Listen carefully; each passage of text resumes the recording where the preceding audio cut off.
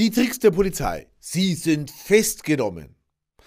Ich erkläre euch jetzt einen der häufigsten Tricks der Polizei und einen ganz einfachen Ausweg, wie man aus dieser Situation wieder rauskommt.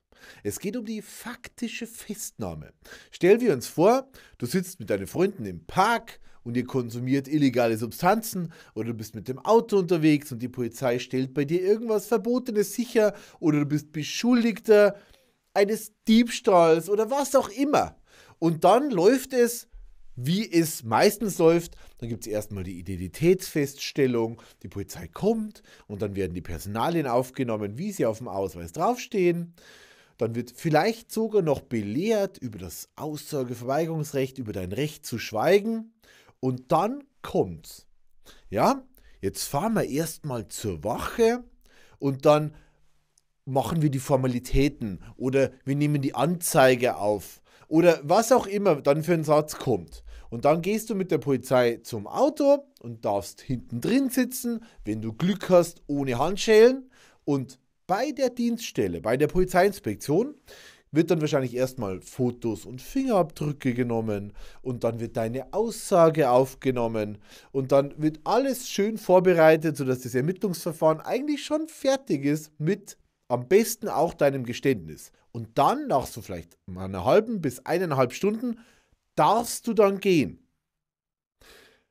Aber du dürftest die ganze Zeit schon gehen, weil das, was hier passiert ist, ist keine Festnahme. Wenn du dann als Verteidiger, wenn wir Anwälte dann in die Akte schauen, dann sehen wir, naja, das war alles freiwillig, das war keine Festnahme.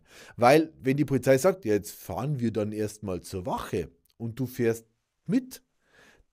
Das ist keine Festnahme. Du bist freiwillig mitgefahren. Und wie kommst du aus dieser Situation wieder raus? Die einfache Frage, die du stellen musst, ist, bin ich denn festgenommen? Eine Festnahme, also eine vorläufige Festnahme, geht nämlich nur in den dafür gesetzlich vorgeschriebenen Fällen. Es gibt es müssen bestimmte Gründe vorliegen, in denen die Polizei dich festnehmen kann. Zum Beispiel, wenn die Identität ungeklärt ist. Dann kann die Polizei dich mit zur Dienststelle nehmen, um die Identität festzustellen, wenn du Beschuldigter bist. Oder wenn Fluchtgefahr gegeben ist. Oder du bist auf der Flucht, wenn du von der Polizei wegläufst, dann wirst du vorläufig festgenommen. Oder wenn du Beweismittel vernichtest, dann wirst du vorläufig festgenommen. Aber wenn du ganz normal in der Polizeikontrolle als Beschuldigter dir irgendeine Straftat vorgeworfen wird, dann ist die vorläufige Festnahme nicht die Regel, sondern die Ausnahme. Es ist nicht so wie im amerikanischen Film, man sieht, okay, wir haben den Täter jetzt erstmal Handschellen und jetzt geht es erstmal ab zum Revier. Nein, so ist es nicht. Es braucht eine konkrete Rechtsgrundlage für die vorläufige Festnahme. Wenn es dafür keine Rechtsgrundlage gibt, Flucht, Fluchtgefahr, Verdunklung, Verdunklungshandlungen, Beweismittel vernichten, dann kannst du ganz normal bleiben, wo du bist.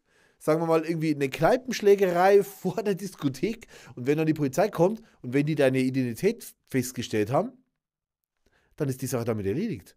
Dann geht es nicht erstmal zur Wache und du wirst festgenommen, sondern eigentlich ist mit der Identitätsfeststellung die Sache erledigt. Heißt, einfachen Satz, den man sich merken muss, bin ich denn festgenommen?